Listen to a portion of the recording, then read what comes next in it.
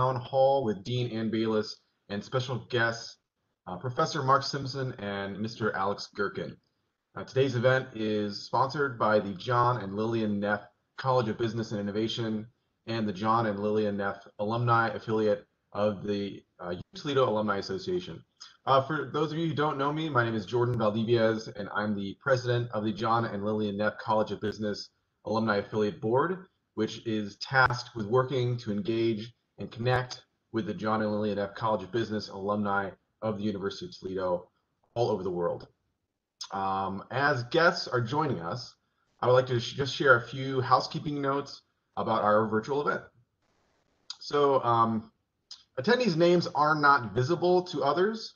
Um, they're only visible to the host and presenter. Therefore, you will only see your name in the attendees list. Um, but think today we have uh, a couple, uh, nearly 100 people signed up. So uh, you can be rest assured there's plenty of alumni here watching with you.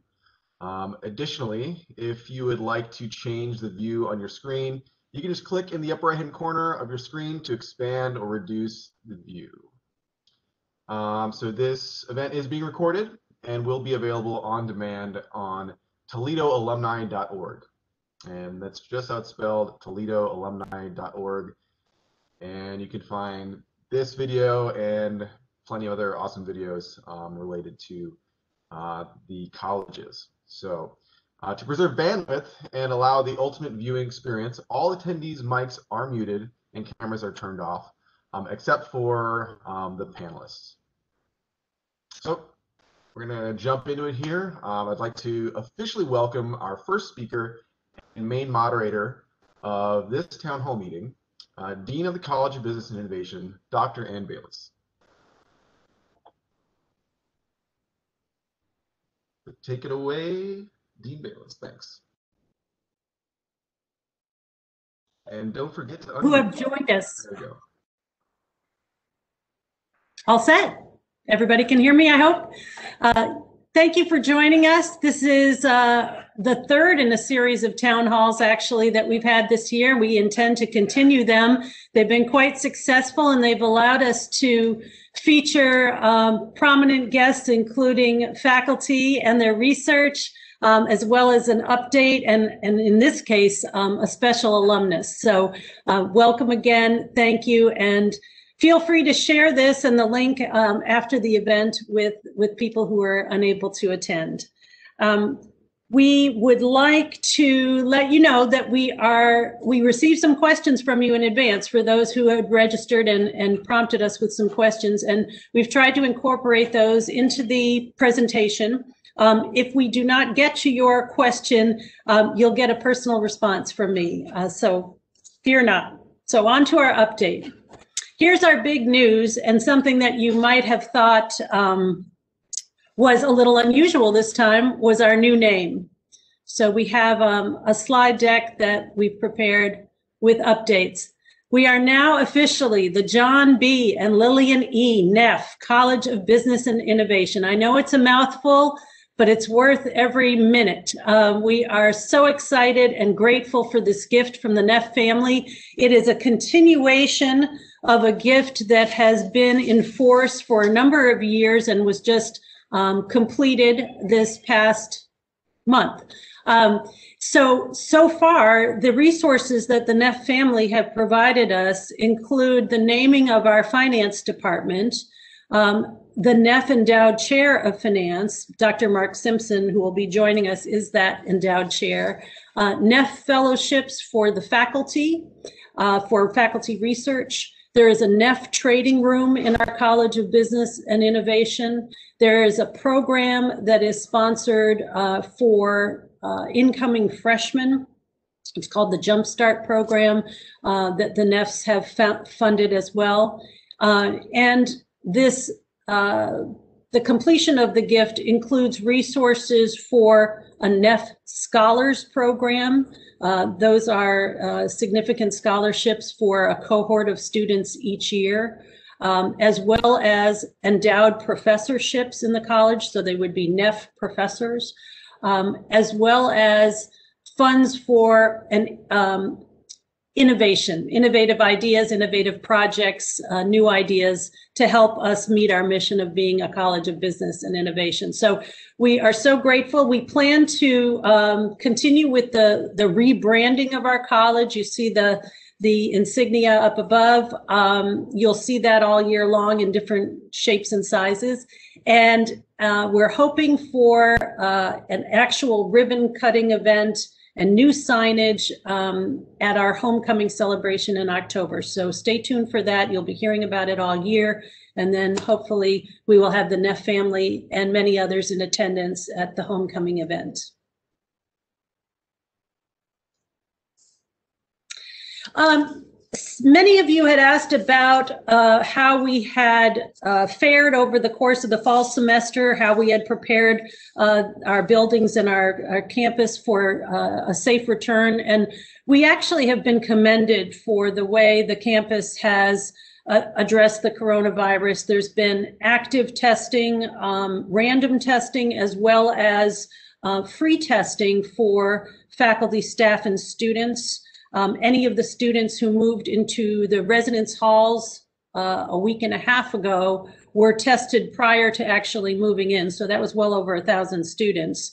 Um, there's free testing going on on a regular basis. And you can see we have a dashboard. The, the link is there um, where we provide um, statistics every week. And we are absolutely um, at a positivity rate that is much lower than the Lucas County uh, rate. So we've been commended by the state in the way that we've handled it, and we've been able to have a successful fall semester. We've moved as cautiously into the spring semester with um, at least 50% of the classes being uh, handled remotely or online.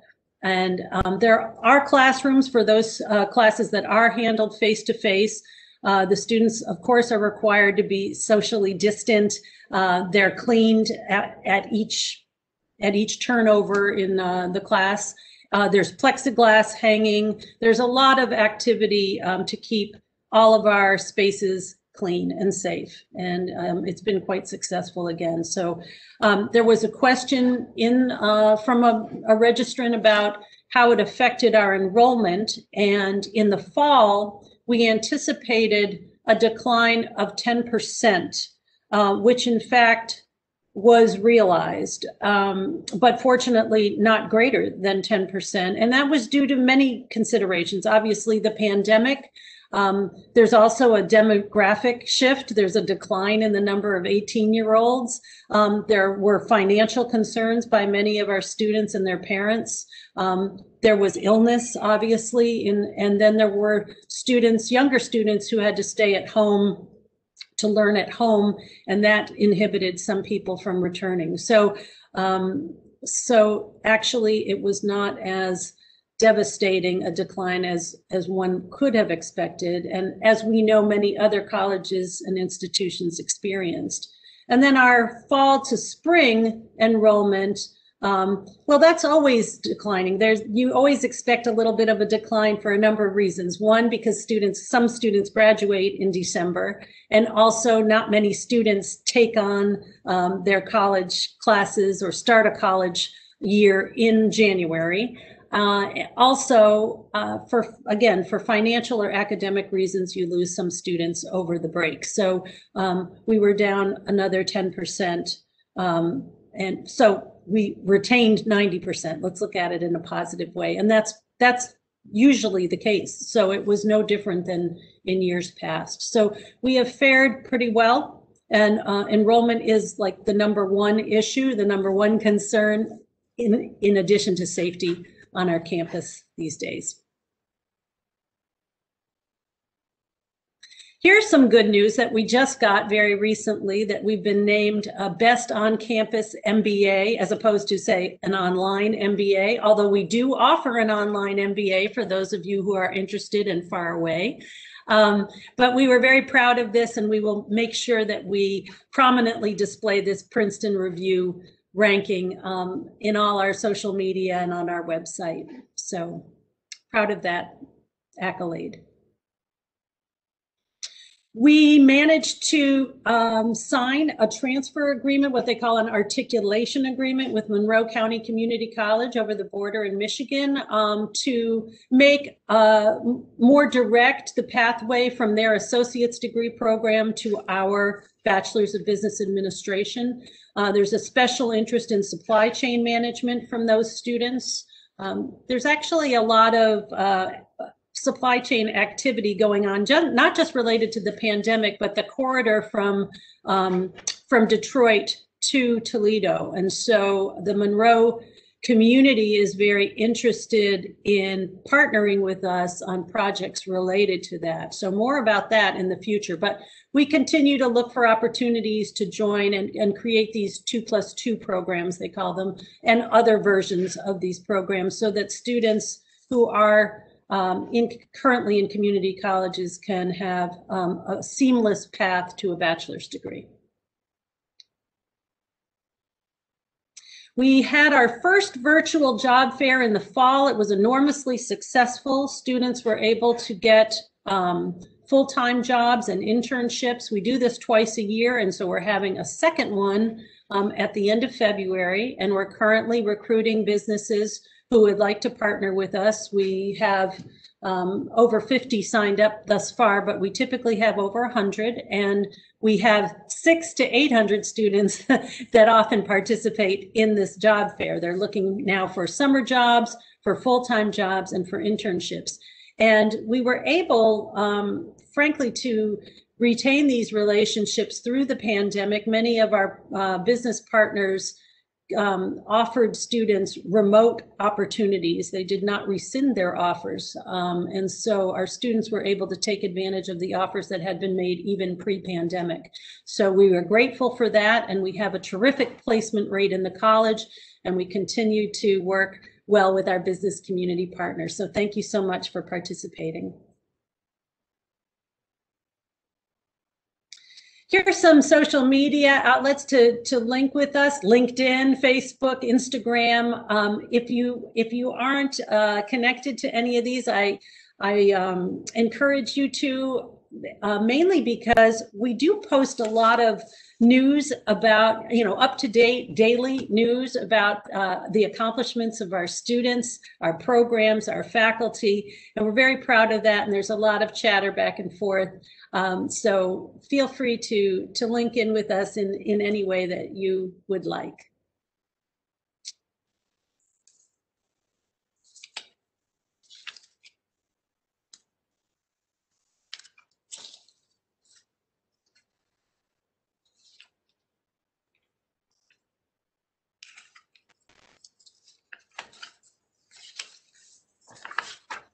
I think Jordan doesn't need to make the introduction. I can certainly tell you that my first guest um, is a faculty member in the finance department, Dr. Marc Simpson, who is professor and John B. Neff Endowed Chair of Finance.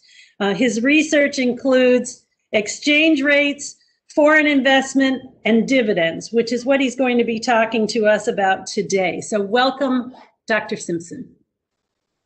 Well, thank you. I mean, yes, I am unmuted. Okay. Um, so the, the paper that I'm going to present today is uh, poses an interesting question. It says, uh, you know, what difference do dividends make? And uh, this is from the investment or the portfolio portfolio management perspective. Um, this this paper was published in the Financial Analyst Journal in 2016 um, it's co-authored by myself and Mitch Conover from University of Richmond and Gerald Jensen, who recently retired from Creighton University. I guess the dividends made a big difference for him. Anyway, the um, you may be asking why I uh, am presenting this particular paper, so I'll talk about its influence a little bit. Uh, it, as I said, it was published in the Financial Analyst Journal. Uh, it's a leading practitioner journal in the investment management community. And shortly after it was published, there was a um, write-up in Barron's Magazine to describe the article as brilliant. Um, now, you may, some of you may have heard that if a national publication describes something you've done as brilliant, that you will, over the next week, win every argument with your spouse. I have to tell you that's an urban legend. It does not come true. Um, but we're talking about dividends and we're talking about dividends within a particular context. And some of you may be familiar with different styles of investing. If you look at any mutual fund prospectus, you'll you'll see this this what is called the style box and, and the equity style box. And what it does is it takes two dimensions or two characteristics of stocks and it divides all the stocks up based on these two characteristics. So the first characteristic uh, going along the uh, vertical axis here is market capitalization. Market capitalization is just the total value of all the stock outstanding on the firm. So it's the total market value of equity. We use that as, we, we call that size in finance. In accounting, they, they usually measure firm size by assets, the value of the assets on the balance sheet something of that nature. I mean, you could also think about thinking about the number of employees that a firm has when you think of size. But in finance, we use the market value of the equity as size. So you divide up the firms by small, medium, and large. And then along the horizontal axis, we look at value, the value of the firm. Now, to, to determine whether a firm is value or growth or something in the middle, you have to use some sort of price ratio. And practitioners usually use the, the price to earnings ratio. The, the price to earnings ratio, eh, the PE ratio, as you may have heard it called, um, it just tells you for every $1 of profit, that is earnings, right? Every $1 of profit, how much you're paying for the stock today. So you could think about if you had two, two firms that were very similar and one had a PE ratio of 10 and one had a PE ratio of 8, if you bought the one with the higher PE ratio, you'd be paying more, $2 more, for every dollar in earnings. So this is a way of kind of saying that the cheaper one would be a value. It, would be a value stock. And that's how the term is used. So firms with low PE ratios are called value stocks. Firms with high PE ratios are called growth stocks and and so you there are different you know hypotheses different styles of investing. Some people think you should invest in growth stocks. Some people think you should invest in value stocks. And this box just kind of tells you uh, for a given portfolio what kind of style is it pursuing? And of course there are some very famous value investors john neff being one. John neff was a value investor and, and, and warren buffett you know would be another famous value investor. But just to show you how this box works, if you, I know many of you probably already have seen these, but it, here's the S&P 500, which is a portfolio. And the, and the way you get into the S&P 500 as a firm is you have to be one of the largest 500 firms in the market, large by capital uh, market capitalization. So obviously the S&P 500 is going to plot in the large area and then it doesn't specifically look at the value of the stocks that are that are included. It's just based on size. So it has a blend of value and growth stocks. And so this is where the S&P 500 would plot. So what we do is we we take this uh, these two dimensions and we add a third dimension. So we look at um, all publicly traded stocks from July 1963 to December 2014. That's 51 and a half years.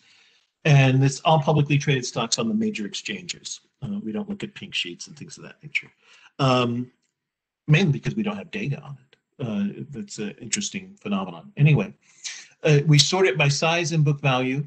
Um, we use book value instead of PE ratio. It's just um, there are some minor differences, but we it's the idea is the same. We take the market value to the book value and we determine what's a value stock based on that or what's a growth stock. Academicians tend to, to use book value, practitioners tend to use PE ratios.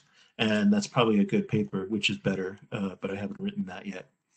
Um, you further further within each of those boxes. So we divide all the stocks up into those nine boxes and then within each of those boxes we make portfolios and we divide the firms up based on their dividend yields. And so we would have a portfolio in each one of those boxes of zero dividends firms that don't pay dividends. And then we would have what we call the low dividend payments. It's the bottom 50% of, of dividend yields. And then we have the high dividend payers which are the top dividend yields from the 50% mark, the median, up to the 95th percentile. And then we have the extreme dividends, which are the, the highest 5% of dividend yields. And this is actually what the Barron's article said was brilliant. I, am not sure that it's brilliant, but it makes sense. The reason why we, we separate these extreme dividend yields out is because if you think about dividend yield as a measure, dividend yield is usually calculated as the amount of the dividends that have been paid over the last 12 months divided by the current price. Well, you could have a stock that paid dividends over the last 12 months, and then something catastrophic happened to it this last week, and its current price has plummeted. That stock would have a huge dividend yield. That doesn't mean it's a good investment, right? So we're talking about dividend, extreme dividend yields can sometimes be 70%, 25%, 20%. The high dividend yields, the median is around 4%.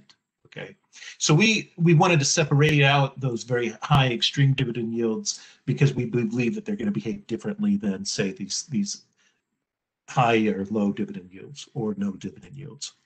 So there's obviously a lot of things we look at in the paper, but here I've kind of summarized the main results. And there's a lot going on in this table, so I'll, I'll explain it to you. Here I have the, the size breakdown, large, uh, mid, and small cap. And then I've just taken the value column and the growth column. So if we go back, I've excluded the blend. I could include it, but it's just basically in between the, the other two, so it doesn't really add that much to the to the discussion. And so what I have here are monthly returns over that 51 and a half year period for those portfolios. So I have the monthly returns, the risk, which is the standard deviations of the returns, and then I've annualized the difference between the two portfolios. And the two portfolios that I presented and on the left, you have the no dividend uh, paying stocks and the high dividend paying stocks. That's I presented that because we that's where you get the biggest difference. Now, if you look at large value stocks, you see actually the no dividend paying stocks uh, look like they outperformed the, the the high dividend paying stocks. And these are generally large value stocks are are um, stable, and you want to think Dow Jones Industrial Average um, things of that nature. This is not statistically different. So this could just be purely by chance. That's what that means. So there's really no difference in the returns in this box. But if you look at the risk, you can see that the risk is, is significantly and substantially lower for the dividend paying stocks versus the non-dividend paying stocks. In every other box, you can see that the, the dividend paying stocks clearly outperform the non-dividend paying stocks. And what's interesting is when you get over here and you look at growth stocks, um, that difference, you know, accumulates to an 8.21% per year difference in returns, which is huge, at a significantly lower uh, risk level. There is a, a, a more modest difference uh, with the value stocks. And I, I, should say, with the value stocks, and particularly with the large ones, um, we break this out in the paper and we also look at the the the performance the ex post dividend yield. You know how much of the return was attributed to, to dividends uh, after we've done this sorting. We do the sorting a priori and then we look at returns. And in the large value stocks even the non-dividend paying stocks had a significant dividend yield. What that means is that after the point in time where we looked those the firms we said they're no they're not dividend payers because they hadn't paid dividends over the last 12 months but many of them started paying dividends in the following uh, analysis. Um, and that's not necessarily true for a lot of the other stocks. So what's the takeaway? Uh, while obviously portfolios tilted toward dividend paying stocks have the same or higher returns but lower risk. And also higher dividend yield appears appears to be better except for the extreme ones uh, so what I mean by that is the high dividend payers were better than the low dividend payers, which were better than the no dividend payers. And then that extreme dividend yield, so as I talked about, that's probably driven by declining prices, and they were all over the place. And, um, yeah, probably not. I'm not. I'm not giving any advice, but you know, it, you know, you can do what you want, but uh, I, I, would probably avoid those. Um, you see a stock with a 70% dividend yield, it's probably not a good investment. I can say that. Um, so the interesting thing here is that in our paper, we, we're documenting that the lower risk portfolios have the higher returns. And this is actually, you know, contrary to financial theory. In financial theory, we think of returns as being compensation for taking on risk. But what we're documenting is that if you take on the, the risk, you don't get compensated. And actually, there's been a stream of literature that's been showing this recently in the in the most prominent uh, art um, journals.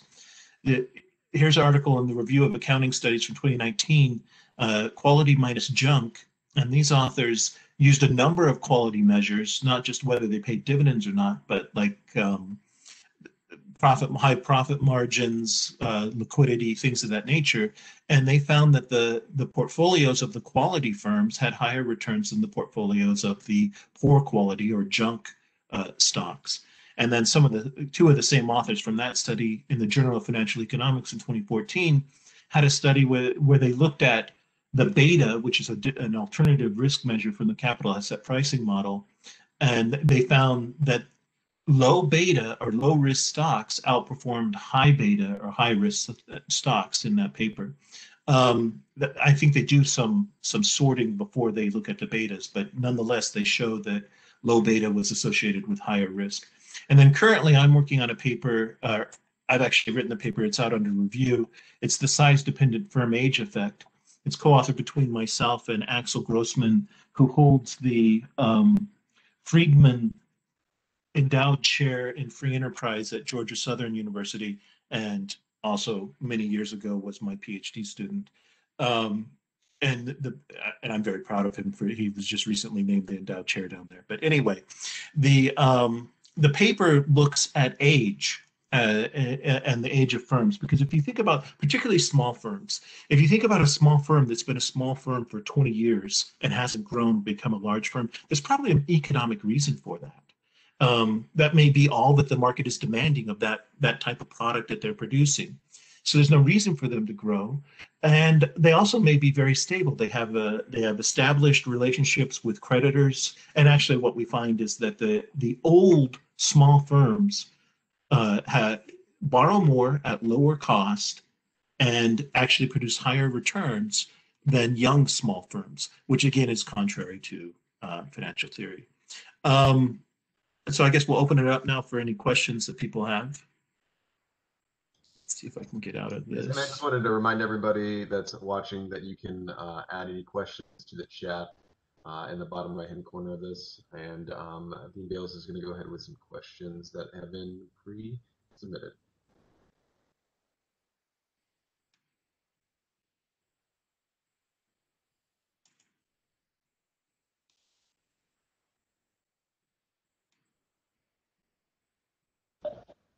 And uh, D. Balazs, did you have some uh, questions pre-submitted, or should we um, uh, grab some from the audience? What, what do you think here? Um, no, I did not, but I, I do have a, a question of my own, so I could get it started off that way. Um, where where do you see this going? If it is contrary, is it a, is it a turning point in theoretically, or is it um, an, an anomaly that uh, that is brilliant? yeah, right.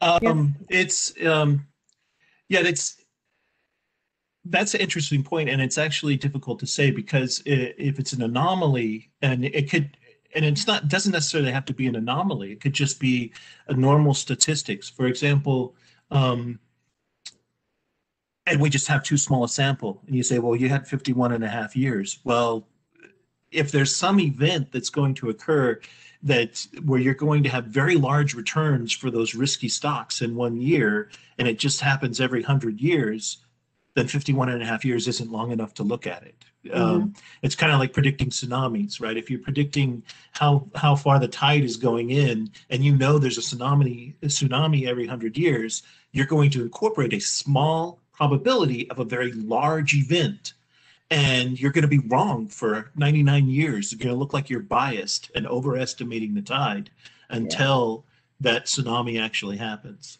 So it's it's difficult to know whether it's actually a change or it's just a, a statistical artifact. Thank you. And we do have a question here from the chat. Um, if uh, if we can, just so you know that we have one in the in the hopper here if you have another question, we can do that first maybe, or we can switch to the chat question. Let me know. I'll just go ahead and uh, ask the uh, chat question here. Um, so obviously, the stock market has been in is always in the news, but there's some specific in the news. Um, one of the questions from the audience is thoughts on uh, what are your thoughts on the GameStop, you know, GME short squeeze, Robinhood market interference with restricting option trading and 2021 outlook given the 15% increase in currency circulation from March 2020 to December 2020 and questionable positive real economic data. I know that was a mouthful, but um, Yeah, I think there's I think there's several questions there.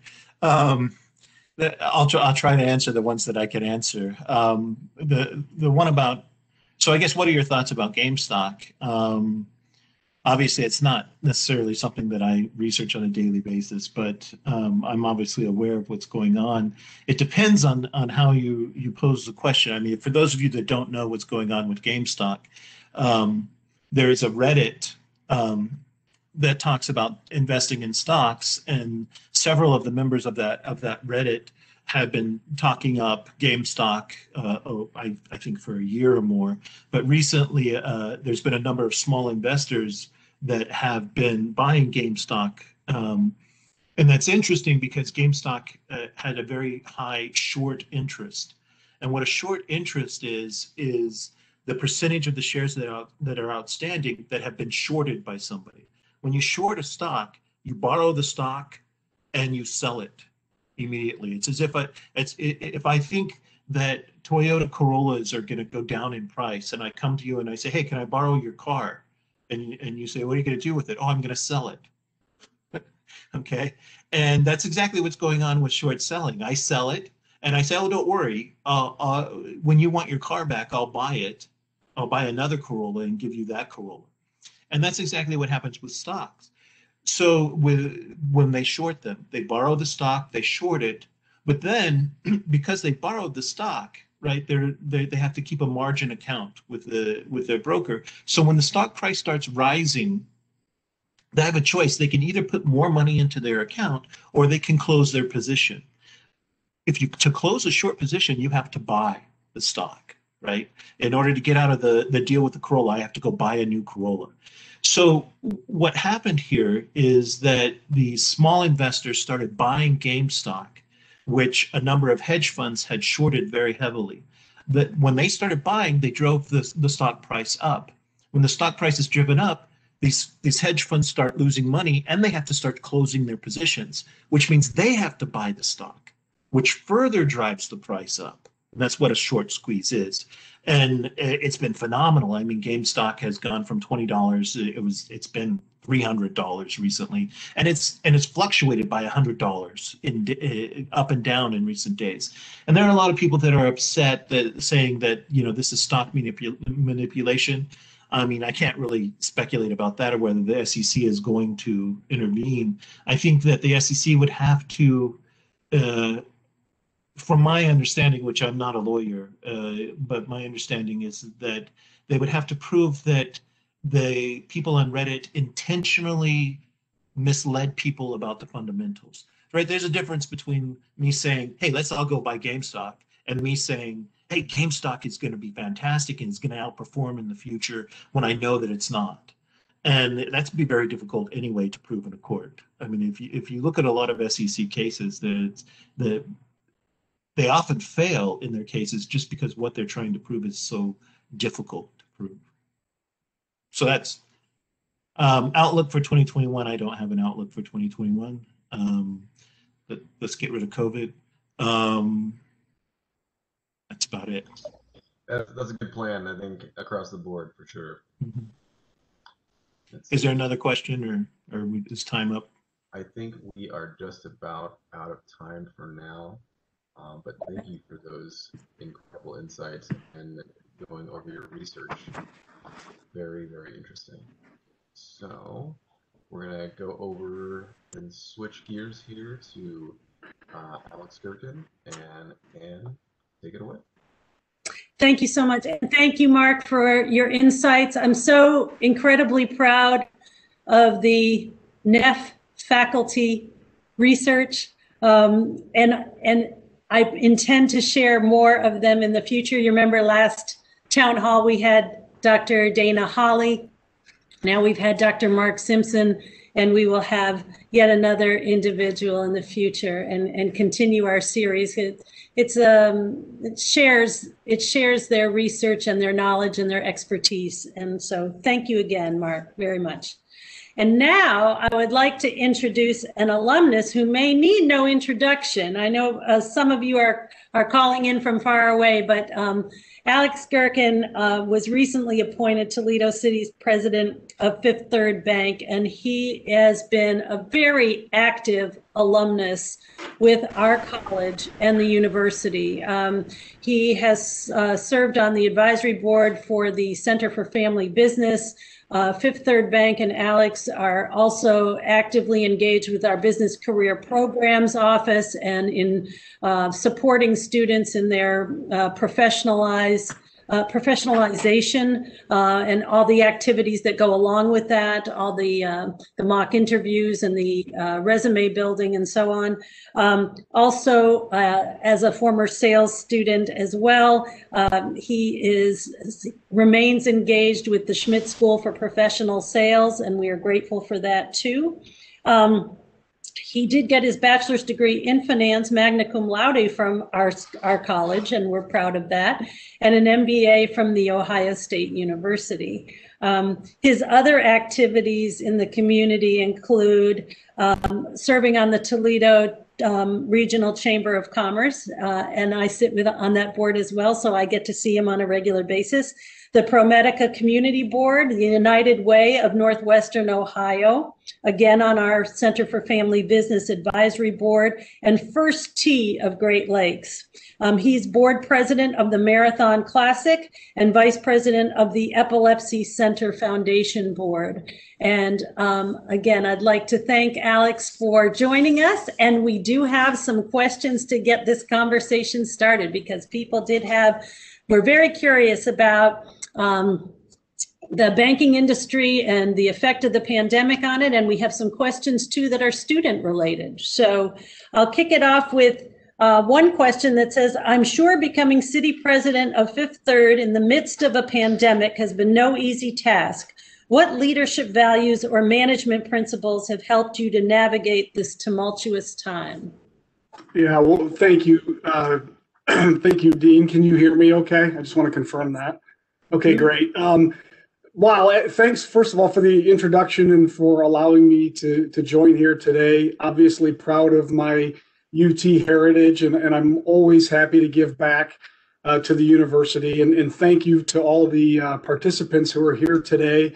I'm glad to see that leveraging the virtual technology brings folks from across the country. So that first question's a good one. I mean, frankly, we could spend the next 20 minutes talking about it because um, you know, it's you always dream of the day when somebody flips you the keys and says you're in charge. And uh, I don't think the dream ever included anything that looked anything like uh, the things that we've dealt with. But from a leadership values and management principles perspective, um, you know, I tried to, uh, as we began to navigate the pandemic, really tried tried to break it down to the basics because I think it's always important when you're backed up against the wall to think through the basics. And for me, you know, those basics include a couple of different things. Banking is a people business. So communication and communicating to my team and frankly to the market, to our clients, our centers of influence, became extremely important uh, on with the onset of the pandemic and, and then specifically through the transition to president. Uh, so I would say communication is number one, and we can again talk for hours on how we did that. But to me, that was the most important thing.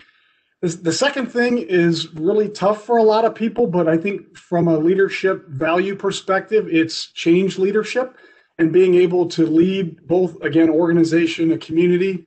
Um, through whatever it might be, and in this case, it was the leadership transition, but also um, you know, the pandemic and guiding the bank's employees through the pandemic. So I've been with the bank for 20 years. Um, that wasn't mentioned in my bio. So for me, I, the one thing I always say is that the one thing that's constant inside the bank and in the industry is change. So change is constant. And as a leader, you need to be prepared to lead your organization. And then the, the other thing I would mention here is uh, flex, flexibility is extremely important. Um, and it, during this pandemic, what became and just the nature of it and how quickly we shifted from on-site working to working remotely and again i could talk all day about that but understand the import the importance of um, uh, factors that impact your employee don't happen in the office so if you think about that, on March, I think the date was like the 10th or 11th, we, as a bank, averaged 2,500 employees working remotely across our entire footprint. By March 16th, that number grew to 12,500. So almost half of the bank's overall staffing worked remotely over literally a long weekend. And so there were a lot of things that happened. We took our employees from an environment where they're the bulk of them from where they're in the office every day so now working from, like a lot of you experience from home, uh, I joke that I put my dogs in there so they wouldn't bark, but all the things that, that influence your employees outside of what you see every day in the office environment. And those things were magnified dramatically. So for me, it was trying trying to be a person first and a leader and a boss second. And just working with our, our staff to be flexible and, you know, picking up kids or frankly homeschooling, um, working with parents and all the things that I'm sure each one of you um, had to deal with during this pandemic. But but then I guess be as a leader really being cognizant of that and understanding and flexible and really knowing that if you provide that that flexibility for your employees you'll probably get more out of them than you even bargained so those were some of the things that i tried to focus on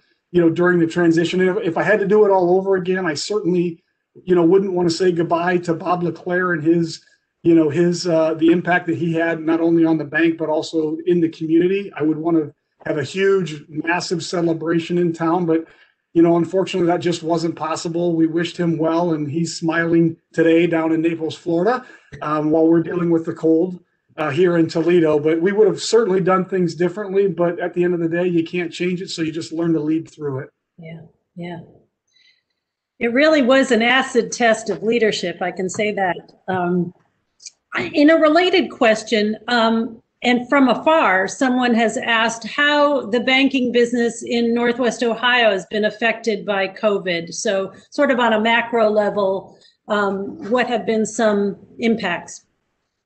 Yeah, so that's again a great question and, and, probably a topic for a four-hour seminar. I'll try to keep it brief, but you know all the things that every one of our clients dealt with, and again, I'm sure you dealt with the workplace, um, you know, planning, uh, cleaning, all the things that you talked about from the university. I mean, we in Northwest Ohio, we have you know roughly 50 financial centers. We had to go find hand sanitizer for all all those things that we went through you know, I, I, guess I'll answer it a little bit differently. You know, we tried to focus on how to reach our clients differently. Said, hey, not doing in-person meetings. I personally have had access to WebEx on my work system for over um, three and a half years. The first time I hosted a WebEx meeting was in late March of 2020. So I think just again leveraging the technology and clients needed to see us differently. You know, we were very fortunate. We we maintained 99% um, of our of our financial centers up and running um, from a utilization perspective, which was effective, was in and of itself, but really leveraging the the, the other channels that are available to reach our clients, whether it's commercial clients or retail based clients. One of the things that we've seen through the pandemic is the adoption of our electronic transactions from a consumer banking perspective. So think about taking pictures of your checks, transferring money, um, frankly, um, applying for a mortgage loan electronically, a car loan electronically, all of those things. You know, we we if you go back about six years, first our electronic delivery, we were somewhere in the 20 to 25 percent adoption. That has slowly grown every year into the low 60 percentile range.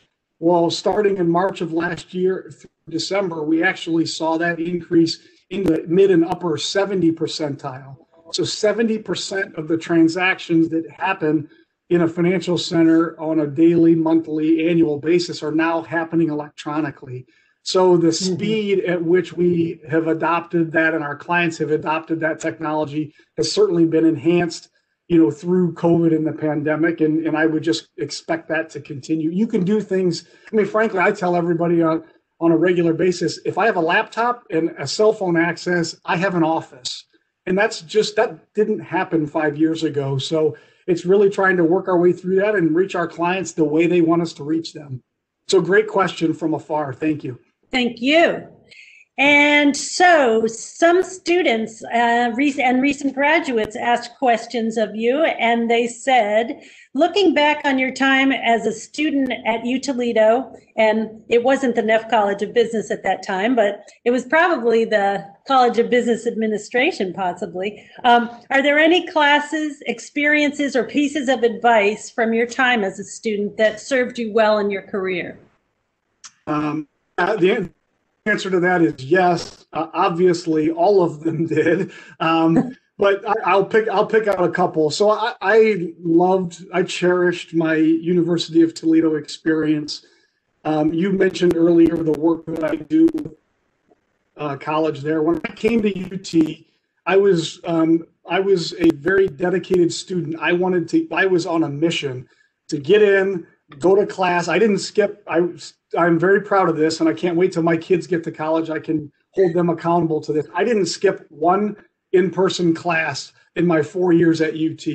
There aren't a lot of my friends that can say that. I took good notes. I woke up and I went to class because I was determined to get a good job when I graduated. But the ones that really, so when I started, I started as a finance major. I always knew I wanted a business degree. I, I sort of leaned towards finance. Um, I started as an information systems manager. I took a couple computer classes. And again, you heard my WebEx history. I, I looked at that and said, I'm not sure this is what I really want to do as a backup if finance doesn't work. So I flipped to, I had a really cool economics professor, fell in love with my econ classes and said, I'm going to get an economics degree. Um, so I did that. I was on that path for about half a year. And then I just, by happenstance, took my first sales class and I absolutely loved it. And uh, it, for me, I was more of an introvert than you might expect. Again, I wanted to get good grades and go get a job. That sales program really taught me um, that if I was going to be successful in you know the, the business profession, I needed to step outside my shell and really focus a little more on how others perceive me and and how I can relate to others and and so I started a journey there with the sales program that ended with I was frankly um, I can't believe it's been over 20 years but 20 years ago I was one of the first classes from the university that could graduate with a sales minor and then after that I think a year or two after that they added a sales major so um, Mhm. progressed through my career inside the bank. The bank is obviously very consultative. We try to be value add to our clients. We really value many of the sales classes that I took at the University of Toledo over my 20 year career have been rolled out inside the bank. I actually was on a advisory team inside the bank to craft a consultative selling sales course for Uh-huh. our commercial bankers because I had that experience at the University of Toledo. So every time the bank rolled out another sales program, I could say, "Yep, I've already done this." Not that I'm a professional; it's always good to get a refresher, but I've, I'd been there, I'd experienced it, and for me, it was just a refresher versus starting from square one. So again, obviously, all of my classes were important, but those sales classes for me and what I do every day really made a dramatic impact on my career over the years. Great question. Nothing like a ringing endorsement from a successful alumnus. Uh, for those of you who might not know, our sales program is nationally ranked and our students are extraordinarily competitive. And even in this pandemic, um, we, we host ourselves um, a, a virtual competition. So that will be next month. So thank you very much for making note of that. Um, Another question from a student, and this would be the last one, is um, as someone who has successfully navigated the corporate ladder over your nearly 20-year career at Fifth Third, what advice do you have for students who are looking to successfully do the same? Yeah, another man, these questions are great. So thank you to all the students for your engagement here. These are great questions. I'll, underline, I'll underline a word, or maybe highlight a word that was said there, and it was successfully. I mean, that is a relative term. Um, what, how I would answer that is, um, you know, there were plenty. It's been 20 years, and that's that's hard. I say that every time I give a presentation. It's hard for me to say. I've been out in industry now for 20 years, actually 22 if you count my internships, and I worked a year during my senior year um, at the bank. So. Successful is relative because there will be a hundred bumps along the way. Um, all you know, over that 20 year period, there are certainly things I can look back to and say, you know, I certainly considered leaving the bank, or I, I call it quitting. Um, there, are, quitting is always the easiest thing you can do. It's always easy to go start over, take a fresh look. And for me, I was really determined to um, overcome whatever obstacle I may have faced. So there are a lot of things I could say there, but being um, determined and persistent certainly were one. And it is unique. I get to ask that question a lot because in today's environment, you know, I think the, the, the career average staying at a location or in a job is certainly getting smaller than when it or shorter than when it was when I started. But you know, to me, it was about being dedicated and determined to make a difference. I'm probably loyal by fault, both personally and professionally. So I also say I was a little bit lucky. I had a really good boss in an organization that invested heavily in me. So I would relate that back to the question and say, you know, take care of yourself, take care of your family first. I don't think you can be successful in your organization or in your career if you're not, if you don't have a good quality home life and family life at least for me, that's what's helped me do it. And be yourself. Find something that you do that motivates you and energizes you. And every morning you wake up and you think, how can I be better at what I'm doing today? And if you're not asking those questions or challenging yourself, I think again it's really easy to, to take a step backwards and say maybe I should go find something else to do. And that doesn't mean that you know don't take those words the wrong way. That doesn't mean that sometimes you get to a point where you really need to make a career change or, or a shift either in your existing company and do something different or go find a new company. But I've always been fortunate. It seems like every three to five years, the bank, you know, either approached me or I approached them about, you know, wanting to do something different or to be challenged. And they've challenged me over that 20 years, every three to five years. And it always feels like I've had something different to focus on and do. So it, it's a, a really good question. I know it has a kind of a long-winded winded answer. The other thing I would say that helped me over my career you know, one of my philosophies is always work hard and play harder. So work harder and, and smarter, but then also reward yourself and your family at the end of the day. Um, you know, we put these jackets on and these pins and we have to dress up and go to work. But at the end of the day, you have to go home to your family and yourself. And if you don't love what you do and, and really try to enjoy some of the small wins in your life, it'll be a really long, uh, a long year to say the least. So even last year, we found reason, all the challenges that we faced, we found reasons to celebrate again, both personally and professionally. So again, long-winded answer. The successful word in that question is certainly relative, but you know, I appreciate the the question and just know that you have to take care of yourself and your family first to have a really good, good and solid career. But, but again, a good question. Well, Alex, I have to tell you that was a fantastic response and and truer words were never spoken because obviously persistence is the key to um, a successful sales career and finding something you love um, and challenging yourself um, just and being genuine, which is something else you mentioned, is is really important. So I hope um, I hope those who were listening take that to heart and agree with you as well. I, know you have a hard stop, and we we do have um, uh, a couple more messages from other people on the call. So I'm going to ask Jordan to take it away. And I thank you so much, Alex, for your time, for your dedication to your alma mater, to your and great success to you in your career and in your um, your uh, leadership role. We're so proud of you. Well, thank you, and I'd be if I didn't thank you uh, for your involvement in the community. It's it's uh, it's certainly great when the community recognizes the importance of the university and the university recognizes the importance of the business community. So so thank you uh, personally and professionally for what you do. Thank you. Thank you so much. All right. and, Jordan? uh, yeah. And uh, Alex, we just have uh, one one last question before you leave um, from the audience. Um, it says, "Do you believe there are any correlation between socially responsible public companies and higher, lower dividends?" Oh man, um, tying it directly to dividends is a tough one because that's you know that's a that's a, a policy. Frankly, Marc may be able to answer that one, I, but I will answer the the socially the social aspect of that and maybe tie it to financial performance. Um, I think as if you've noticed any of the announcements, if you haven't, go Google Fifth Third Bank and and some of the social things that we're doing and environmental things that we're doing. Um, we were one of the first financial institutions to um, make an environmentally friendly policy. We just recently uh, made an additional announcement on that. I'll let you go Google it to save time.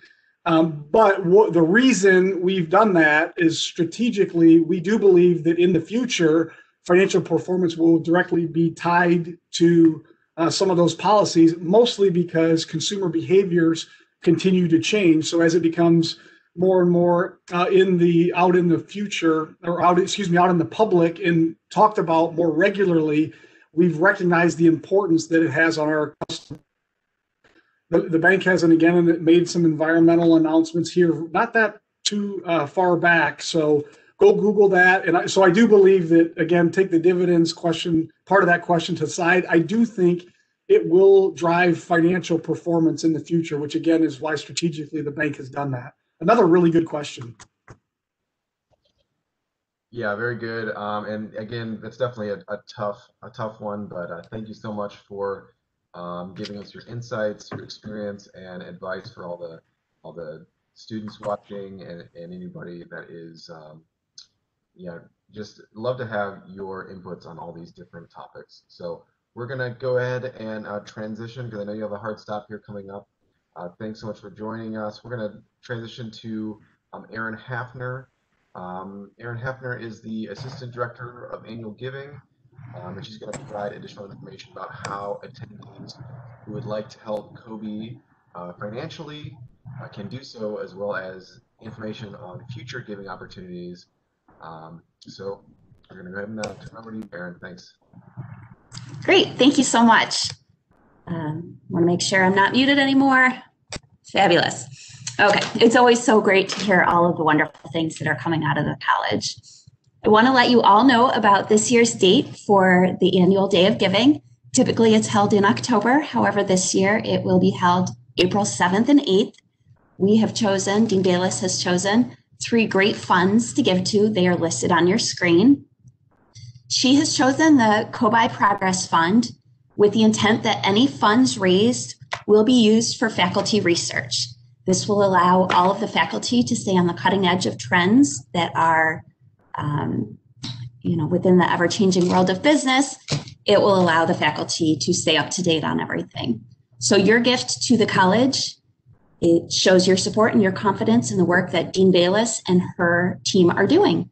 There is a link that is listed on your screen. So if you'd like to make a gift today, you can do so. Thank you so much and go Rockets. Jordan?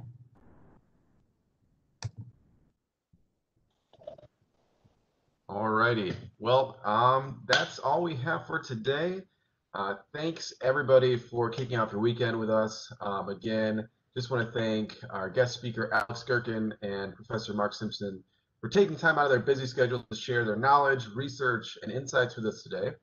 Uh, lastly, we'd like to thank our host, wonderful host, Dean Anne Balazs, uh, not just for events like this today, but for the leadership that you provide to the U Toledo Neff College of Business and Innovation. Uh, thanks for audience, all of you as well, for staying in touch uh, with the John and Lillian Neff College of Business and Innovation. We hope you enjoy the rest of your day and have a great weekend. Take care.